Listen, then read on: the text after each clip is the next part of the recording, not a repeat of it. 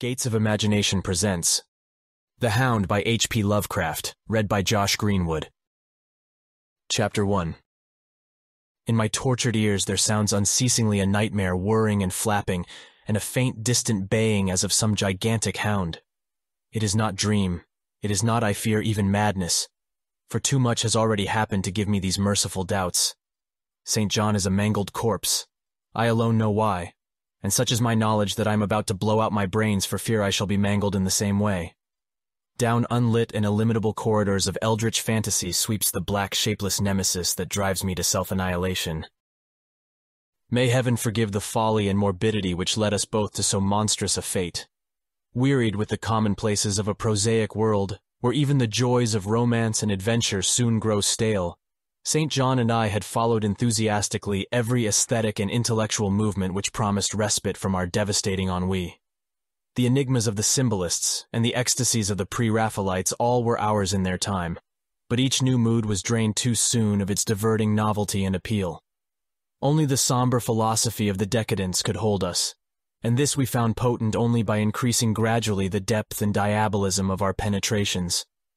Baudelaire and Huysmans were soon exhausted of thrills, till finally there remained for us only the more direct stimuli of unnatural personal experiences and adventures. It was this frightful emotional need which led us eventually to that detestable course, which even in my present fear I mention with shame and timidity, that hideous extremity of human outrage, the abhorred practice of grave robbing. I cannot reveal the details of our shocking expeditions, or catalog even partly the worst of the trophies adorning the nameless museum we prepared in the great stone house where we jointly dwelt, alone and servantless. Our museum was a blasphemous, unthinkable place, where with the satanic taste of neurotic virtuosi, we had assembled an universe of terror and decay to excite our jaded sensibilities. It was a secret room, far, far underground, where huge winged demons carven of basalt and onyx vomited from wide grinning mouths weird green and orange light, and hidden pneumatic pipes ruffled into kaleidoscopic dances of death, the lines of red charnel things hand in hand woven in voluminous black hangings. Through these pipes came at will the odors our moods most craved, sometimes the scent of pale funeral lilies, sometimes the narcotic incense of imagined eastern shrines of the kingly dead, and sometimes, how I shudder to recall it, the frightful soul-upheaving stenches of the uncovered grave. Around the walls of this repellent chamber were cases of antique mummies, alternating with comely, lifelike bodies perfectly stuffed and cured by the taxidermist's art, and with headstones snatched from the oldest churchyards of the world. Niches here and there contained skulls of all shapes, and heads preserved in various stages of dissolution. There one might find the rotting, bald pates of famous noblemen, and the fresh and radiantly golden heads of new buried children. Statues and paintings there were, all of fiendish subjects, and some executed by St. John and myself. A locked portfolio, bound in tanned human skin, held certain unknown and unnamable drawings, which it was rumored Goya had perpetrated, but dared not acknowledge. There were nauseous musical instruments, stringed brass and woodwind, on which St. John and I sometimes produced dissonances of exquisite morbidity and cacodemoniacal ghastliness, whilst in a multitude of inlaid ebony cabinets reposed the most incredible and unimaginable variety of tomb loot ever assembled by human madness and perversity. It is of this loot in particular that I must not speak. Thank God I had the courage to destroy it long before I thought of destroying myself. The predatory excursions on which we collected our unmentionable treasures were always artistically memorable events. We were no vulgar ghouls, but worked only under certain conditions of mood, landscape, environment, weather, season, and moonlight. These pastimes were to us the most exquisite form of aesthetic expression, and we gave their details a fastidious technical care. An inappropriate hour, a jarring lighting effect, or a clumsy manipulation of the damp sod would almost totally destroy for us that ecstatic titillation which followed the exhumation of some ominous grinning secret of the earth. Our quest for novel scenes and piquant conditions was feverish and insatiate, St. John was always the leader, and he it was who led the way at last to that mocking, that accursed spot which brought us our hideous and inevitable doom. By what malign fatality were we lured to that terrible Holland churchyard?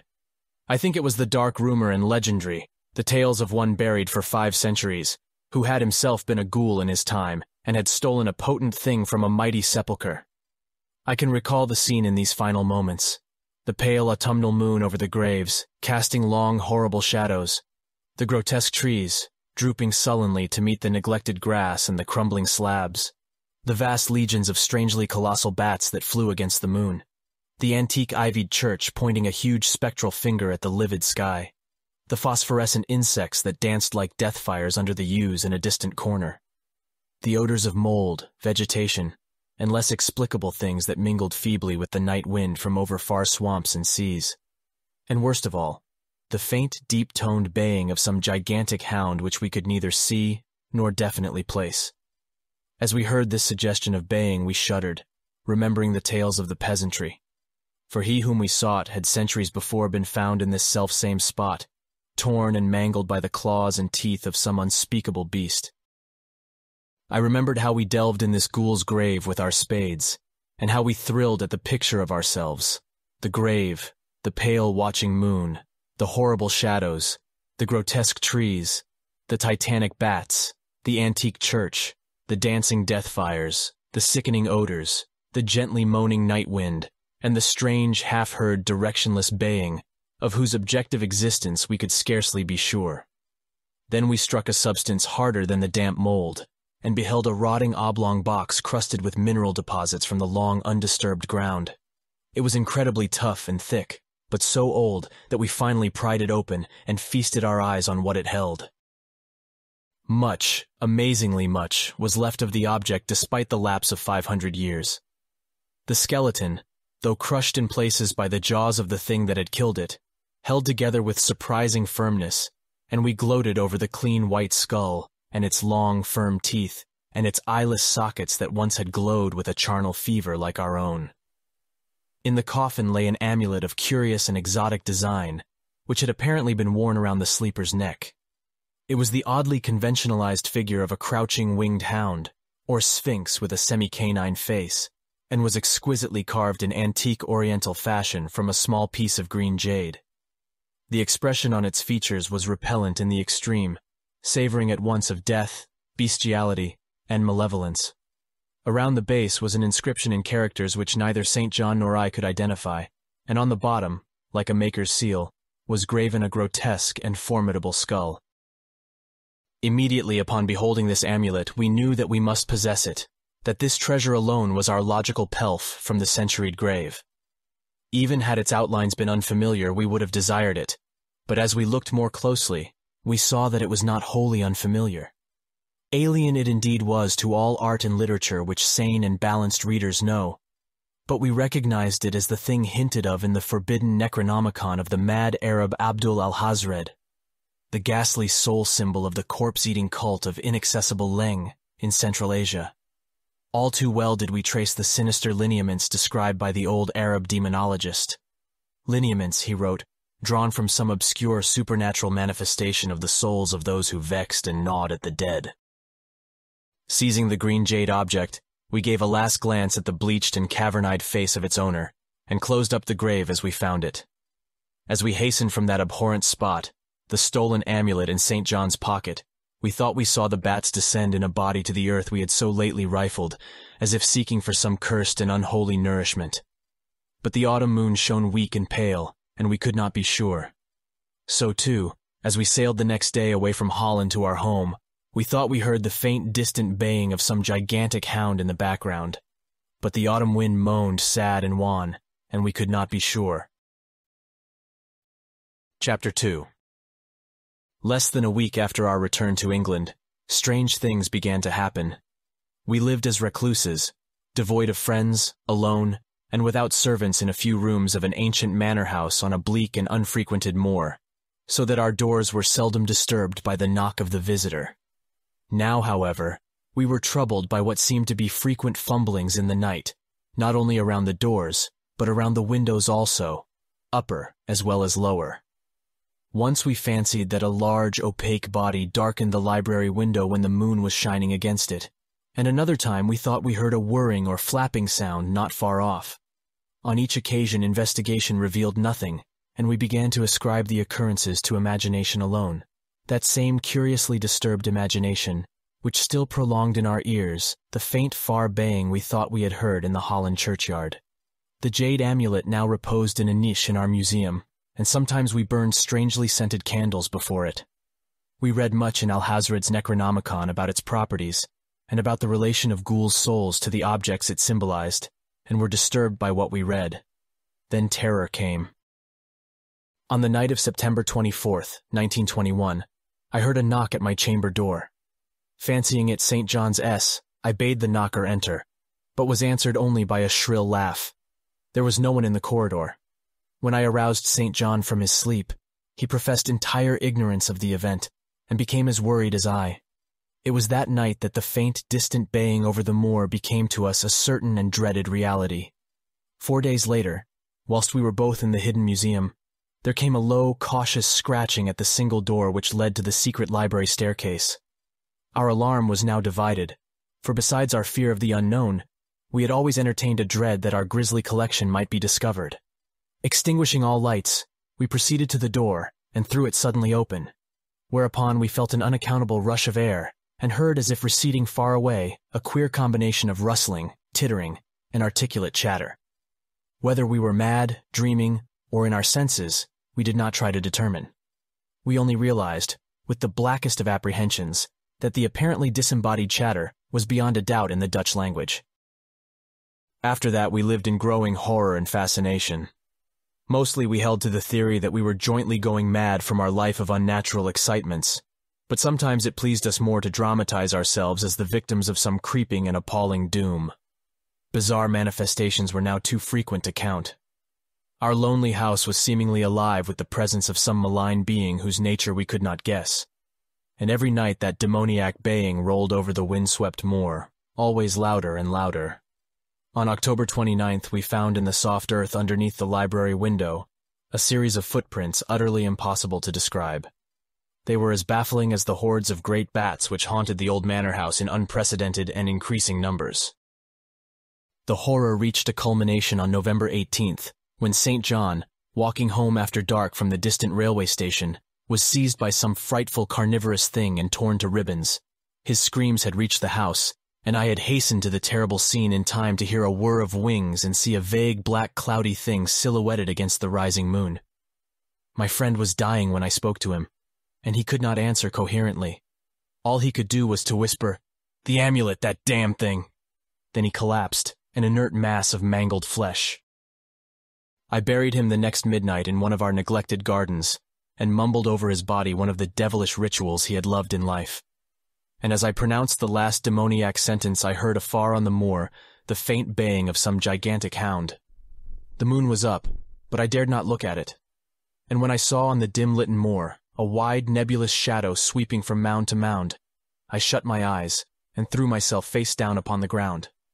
When I arose trembling, I know not how much later, I staggered into the house and made shocking obeisances before the enshrined amulet of green jade.